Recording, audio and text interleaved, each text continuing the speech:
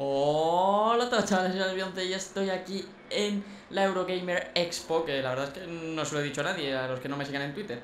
Y bueno, es un evento que hay aquí en, Inglaterra, estoy en Londres, que ha organizado Eurogamer. Y eh, lo que os traigo, aparte de más vídeos que os traeré del evento y tal, es este vídeo en concreto que es jugando contra Xavi, que muchos conoceréis, que os dejo por aquí el link a la primera parte en el que hemos echado un partidillo, nuestro primer partidillo al FIFA 14 Next Gen, es decir, en Xbox One. Y bueno, atención porque viene aquí la, primera jugada, ¿eh? Con Bale, ¿habéis visto? Eh, estamos echando un Madrid-Barça, yo como, como no, pues soy el Madrid. Y vengo a deciros un poquillo, pues, que me ha parecido, ¿no? En vez de poneros solo el, el gameplay, pues también os digo qué me ha parecido a mí y luego opináis vosotros. Que sé lo que vais a opinar, vais a decir, los gráficos son muy malos. Pues realmente no, o sea, daos cuenta que no, no tenía capturadora y he tenido que grabar con... Atención, esperad un momento, por favor a, mirar. Madre mía, qué calidad, qué calidad.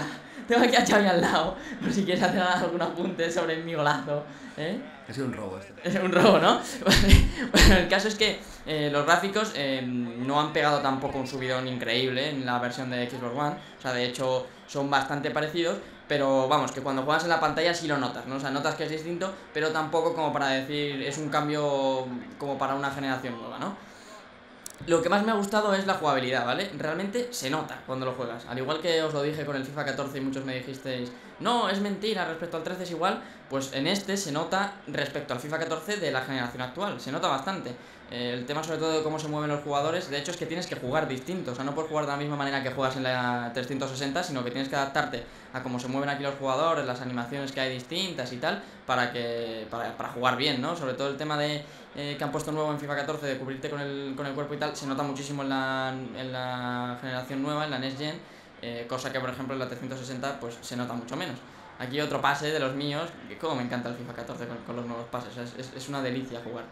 Y las caras, sobre todo las caras se notan mucho, eh, evidentemente pues tienen más potencia gráfica y sí que se parecen más a algunos jugadores que he visto y tal. Aunque bueno, en este caso es Madrid-Barça, que todos los jugadores tienen cara, eh, excepto Diego López, que nadie le quiere al pobre hombre y no, le ponen cara, es lo que hay.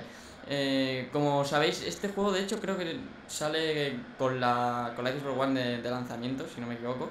Y, y si tenéis el, el, de 360, como me pasa a mí, pues bueno, luego simplemente creo que tenéis que pagar X, en, el vídeo de Xavi lo dice.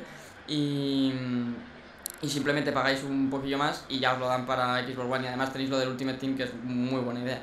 Luego otra cosa que también eh, he notado es que el césped es, no sé, no sabría, es que no sabría decirte qué le pasa al césped, pero es muy distinto al de Xbox 360. En 360 es, yo qué sé, plano, es una imagen plana, y aquí es como, tiene una textura rara, tampoco le, le, diría que es muy bueno la, la, textura, pero no sé, no, no consigo averiguar qué es lo que le pasa, pero lo noto raro, es así.